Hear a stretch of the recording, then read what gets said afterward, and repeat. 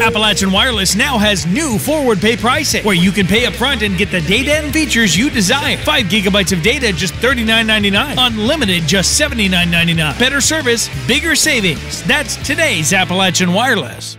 Ranger Rick back in the air chair once. For nearly four decades, radio listeners in the area began their day with the familiar voice of Ranger Rick Cottle.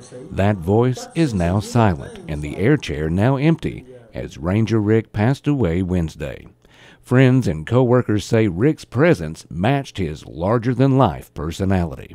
The guy loved radio. The guy loved being here. The guy loved uh, loved his audience. He loved to be the center of attention. Loved doing remotes. Just was, was a showman. It's tough because um, just not hearing his laughter, not not having his presence in the building.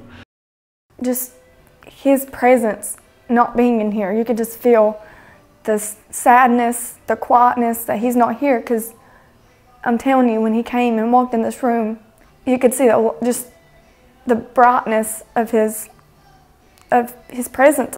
Ranger Rick not only made a powerful impact on his coworkers and his listeners, but also on his community. When he was just out of high school, he joined the volunteer fire department. He was active in that for several, several years, at probably at least 25, maybe 30. On the city council for a spell as a councilman. Um, he, and he's all-time uh, active. Any kind of civic uh, things going on in town, he was always active in those and tried to uh, produce a, a, positive attitude and a positive uh, future for the for the city of Martin. Funeral services for Ranger Rick Cottle are scheduled for 2 p.m. Sunday at the Nelson Frazier Funeral Home in Martin.